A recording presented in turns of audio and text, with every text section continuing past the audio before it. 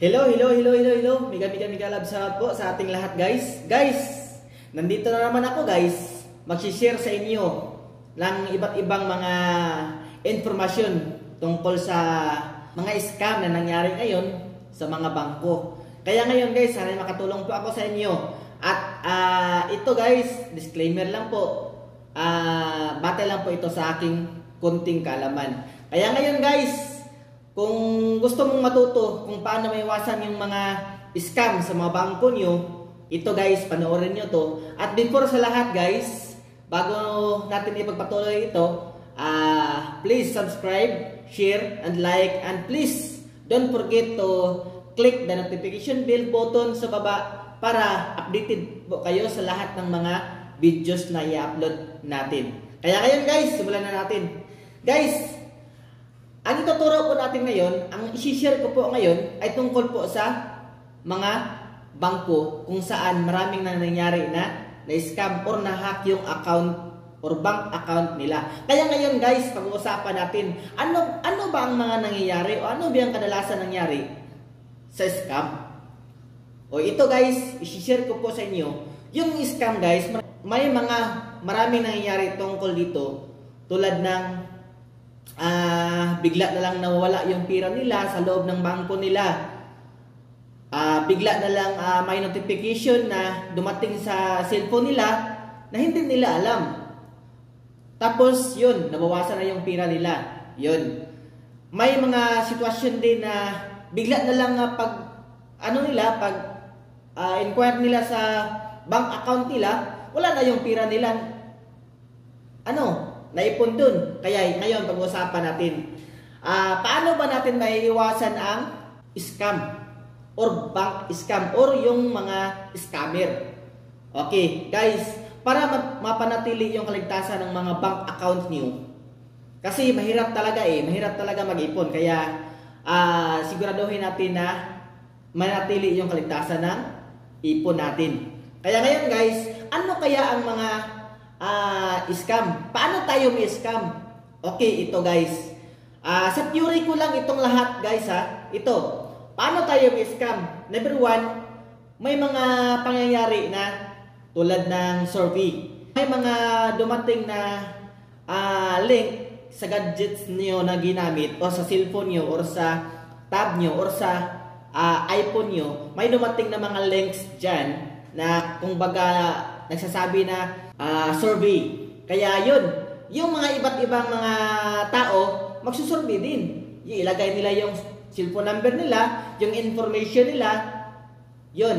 Yun ang isa na uh, pwede tayo ma-hack. Pwede tayo ma-scam. Bakit? Kasi nandun na yung information natin. Kaya pwede na, pwede na tayo ma-hack. Number two, yung ano, yung kumbaga SIM natin kung mangyayari yung SIM nyo, kung hindi nyo na uh, kailangan gamitin, huwag nyong ibigay kahit kanino. Kasi mangyayari yan, pa ibigay nyo, pwede yan mangyari na gagamitin nila yung SIM nyo. Or itapon nyo kahit saan, pwede gamitin ng ibang tao. So, number three, yung ano guys, yung iba, mag, magpapanggap, may tatawag sa number nyo na nagpapanggap na uh, mag-upgrade daw sila ng CC natin or yung credit card natin. Kaya iwasan natin 'yun.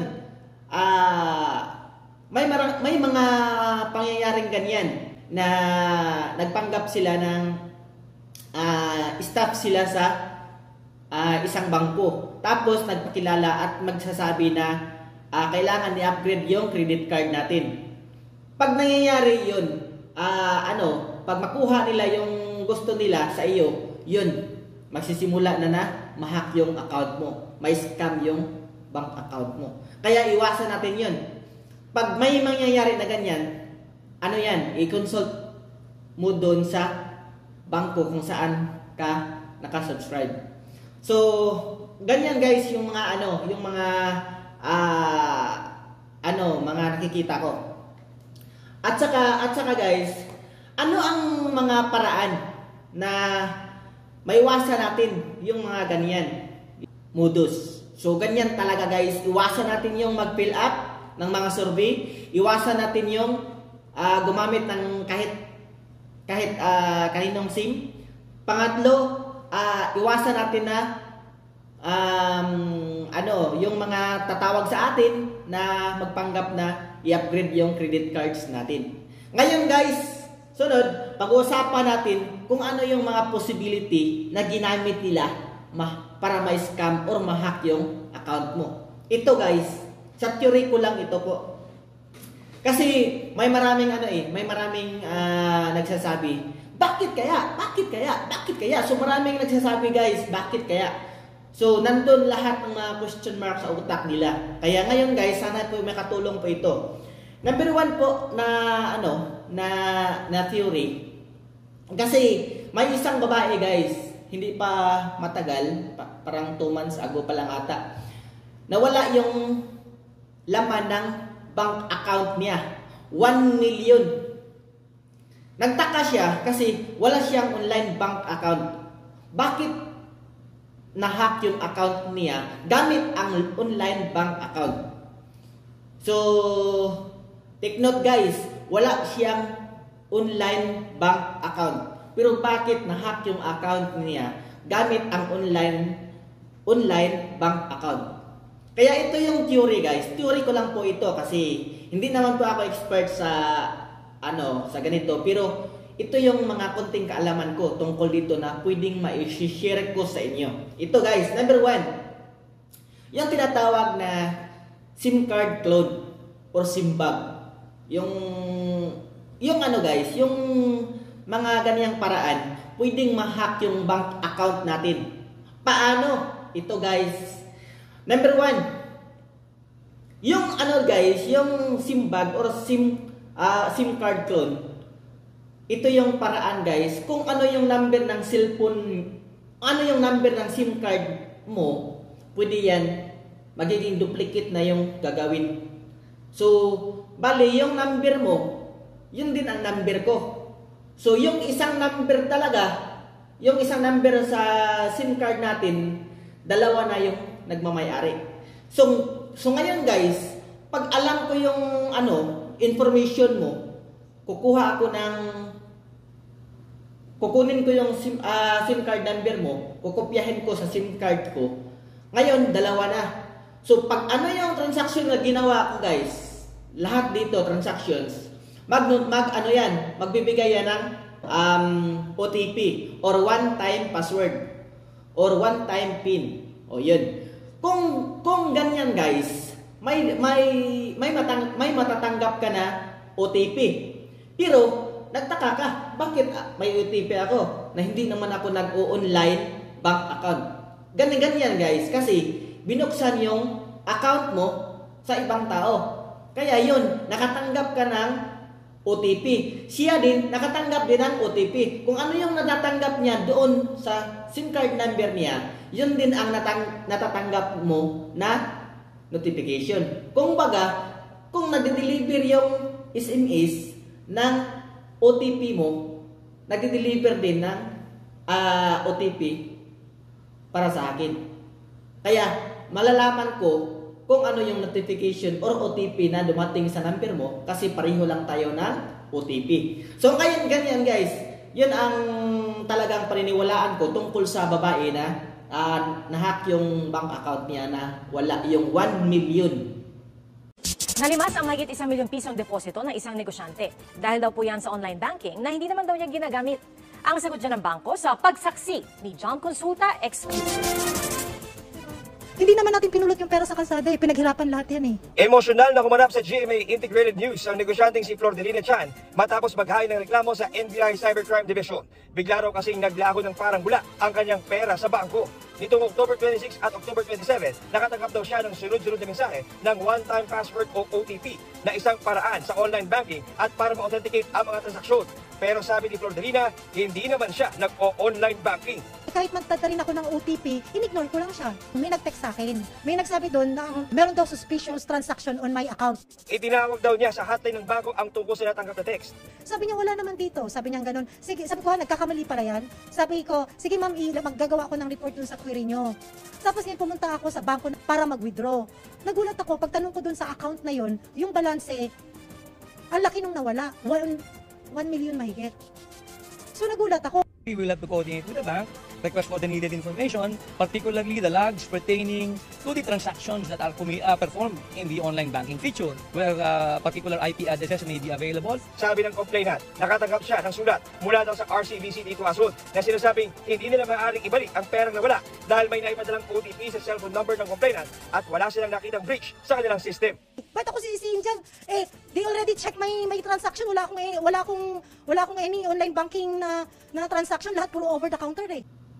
Kaya ngayon guys, may iba't ibang ah, nangyayari din na nawala ng ah, 20,000, 100,000 sa iba't iba din account or bank account. Kaya ngayon guys, may mga ibang theory din na parang totoo talaga na yun din ang dahilan maliban sa SIM card clone or SIM bag.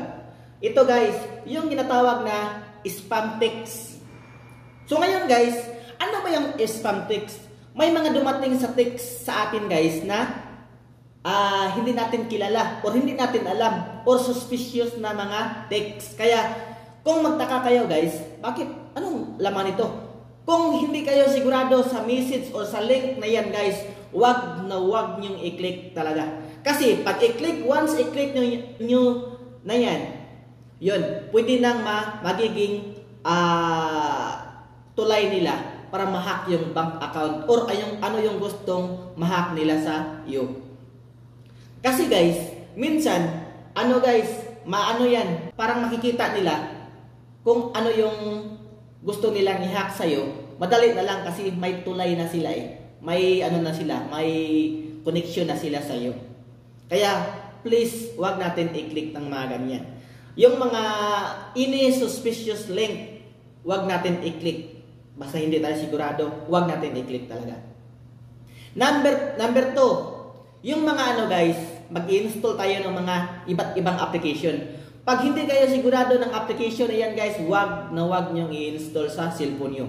Kasi, mangyayari yan. Pag i-install nyo sa cellphone nyo, pwede yan magiging access nila. Paano kayo ma-hack? Pag ma-install mo na yan guys, pag ma-install mo na yan, humihingi yan sila ng allow or yung permission. Permission na ah, gamitin ang ang ano natin ang SMS.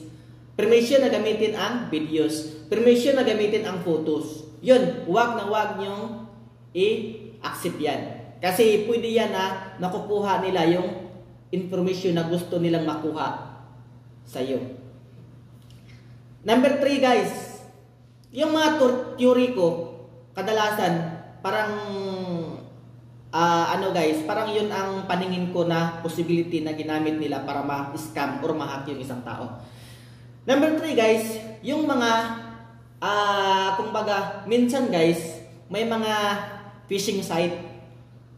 Pag-click mo na yan, pag-click mo ng isang link guys, o sa, sa isang, ah, ah, isang, ah, message na yan, may automatic na third party guys na mag install automatically sa cellphone nyo. Magra-running siya for, for, for installing. Kaya iwasan natin yan guys kasi pag ganyan guys, magiging ah, tulay nila para ma-hack yung account mo. Paano? Magiging minsan guys, magiging remote na yung cellphone niyo. So, pwede nila makikita kung lahat ng mga ginawa na sa cellphone mo, makikita na din sa monitoring nila. So, pwede yan. Kaya iwasan na iwasan na talaga natin na ganyan. Pag may humingi ng permission, wag natin i-accept agad pag hindi tayo sigurado. Okay guys? So ngayon guys, paano natin maiwasan ang ganyan? Paiwa, paano natin ma-prevent ang ganyang mga sitwasyon?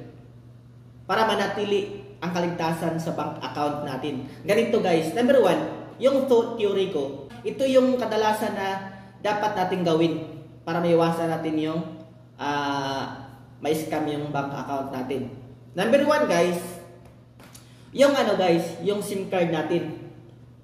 Paano natin, paano natin maiwasan? Kadalasan, nandun sa SIM card natin yung mga lahat ng mga informations tulad ng mga bank account natin, minsan yung password natin nilagay pa natin doon sa phone book sa SIM card natin.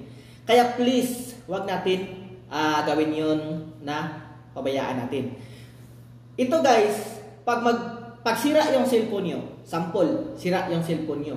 So, i ano nyo, ipaayos ipaayos nyo yung cellphone nyo. Dapat kunin mo talaga yung SIM card nyo, yung memory card nyo. Huwag nyong ipadala sa technician. Kasi pag mangyayari yan, pwede yan, pwede yan makukuha nila lahat ng information mo. Kung kung sakali guys, kung magpaayos kayo ng cellphone nyo, nan, nandyan lang kayo nakantamay hanggang matapos. Huwag niyong pabayaan na ah, sila lang ang gumawa. Kasi hindi natin alam, hindi natin sigurado. Number two guys, kung yung cellphone nyo na hindi nyo na ginamit, wag na wag nyong ibigay kahit kanino. Kasi guys, pwede yan makukuha lahat ng information nyo or lahat ng kailangan nilang information tungkol sa'yo doon sa cellphone na binigay mo. Kaya please, pwede yun sirain na lang kung mabuti. Pero kung kung gustong gusto mo talaga na mapagpirahan yung cellphone mo, pwede nyo ibenta pero may risk doon. Kaya mahirap na. I ano mo lang, i ah, i-reformat mo lang yung cellphone nyo, pero may risk pa, pa din. Kaya ang lahat ng ano, solusyon tungkol dyan, sirain mo na lang yung cellphone nyo. Kung ayaw mo na magkaroon ng ah, maling sitwasyon or mahack yung account mo. Kaya, yun guys. Number 3 guys, na ano, sa tingin ko na ito ang mga dahilan, o sa tingin ko na ito ang um, pamaraan para maiwasan natin yung mahack yung cellphone natin. Huwag na huwag natin na i-route yung cellphone natin. Kasi guys, lahat ng mga kumbaga sa lalo na sa mga Android guys, 'yun ang kadalasan madaling mahack yung Android. Yung Android guys, unrooted 'yan for security purposes. Kaya wag natin i-route guys. Kasi dati guys, mahilig talaga ako mag-route ng cellphone. Kaya ah yung cellphone talaga guys, pag ma-route mo na, grabe. Kahit anong hindi hindi kaya na i-install na application sa cellphone mo, yung dating hindi pa na-route, pag ma-route na yung cellphone nyo, magra-running na yan guys. I-install na i-install yan. Kaya lahat ng pwedeng gawin mo dun, medyo pwedeng pwede na. Basta ma-route na yung cellphone mo. Yun ang kagandahan sa routed guys. Pero, magiging risk pag nandun yung mga bank account mo. Kasi, madali nang pasukin. Kaya tandaan guys, yun ang mga kadahilanan. Kaya ngayon guys, yung mga SIM card nyo, yung mga SIM card nyo na hindi na ginamit, huwag na huwag nyong itapon sa basurahan, huwag ipim- ipamimigay kahit kanino. Kung, ma, kung mabuti lang guys, gupitin nyo. Gupitin nyo ng ilang beses yung SIM na ginamit nyo. Kung hindi nyo na gamitin. Huwag na huwag nyong ibigay kahit kanino. Kasi pwede yan. Makukuha nila yung information natin doon. Okay guys, so next guys, yung ano, yung mga sinabi ko na kanina na um, yung mga survey guys, yung mga survey, wag na wag kayong mag-fill up dun. Kasi, pag hindi ka sigurado ng survey na yan, magiging tulay yan sa mga tao mag, ano, mahilig mag-hack or mahilig, mahilig mag-scam. Bakit guys? Ganito. Yung survey mo, nalilagay mo doon sa survey form, pwede yan ibibinta nila kahit kanino kung sino yung gustong bibili na information na yan. So marami yung makakuha nila ng information, ilang tao yan. Kaya pwede yan magagamit nila sa pangluloko. So ito guys, ah generalize lahat. Ito guys, gawin. Magtaka ka ta- mag magtaka tayo guys. Bakit may dumating na message sa cellphone ko? Alam pa niya yung pangalan ko. Sino to? Di ba? napag-isip tayo minsan ng ganyan. Oh, may may ano, may nana, nana- nanalo daw ako. Bakit alam niya yung pangalan ko, yung apelyido ko? Saan ako nakatira? Di ba? Magtaka kayo, bakit ganyan? Bakit alam nila? Kasi guys, minsan, ah, may mga survey talaga na uh, pinipil-upan natin at pagkatapos, pwede na nila ibinta doon sa mga tao na hilig manluloko. Hilig ah, mag-scam. Kaya ganyan guys, marami tayong ano, dapat ah, iwasan para hindi mangyari sa atin ating bank account. Kaya guys, sana po ay makaka- nakakatulong po ako sa inyo sa kunting kaalaman ko, kunting informasyon na ah, naiba- na ibigay ko sa inyo. Sana po, ah, huwag niyo pong kalimutan na i-share ito at i-click at i-likes and ah, please subscribe naman at maraming maraming salamat po sa ating lahat at sana po ito ay nakatulong sa ating lahat din. Maraming salamat at mabuhay po kayo.